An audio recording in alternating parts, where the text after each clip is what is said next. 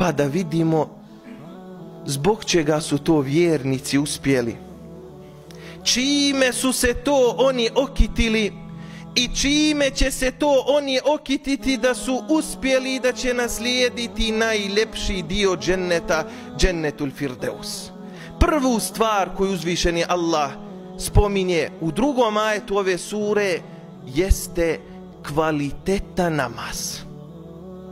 Ne namaz, nego kvaliteta namaz. U islamu mora biti sve kvalitetno.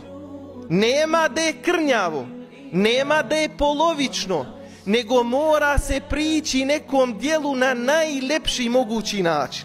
Pa prvu stvar Allah spominje, kaže kvaliteta namaz. Pa kaže, الذين hum fi salatihim khashi'un. oni koji skrušeno klanjaju. Oni u čim namazima vidimo skrušenost. Oni čija su srca skrušena i ponizna kada su u namazu. Oni čiji pogledi ne prelaze mjesto gdje treba seđdu učiniti. Oni koji ne gledaju koliko je rekata klanja onaj ispred njega ili pored njega. Oni koji ne gledaju gdje onaj pored njega drži ruki i koliko diže ruki u namazu. Već se samo zanimaju i njihov glavni cilj i preokupacija jeste svoj namaz.